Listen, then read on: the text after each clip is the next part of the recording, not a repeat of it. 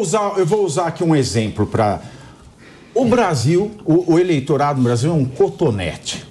Uma ponta tem o eleitor do Lula, na outra tem o eleitor do Bolsonaro. O que está no meio sustenta os dois, mas não serve para nada. Então, Excelente. a não ser manusear, né? Você manuseia. É, Mas o que funciona é a ponta do cotonete aqui e a ponta do cotonete acolá.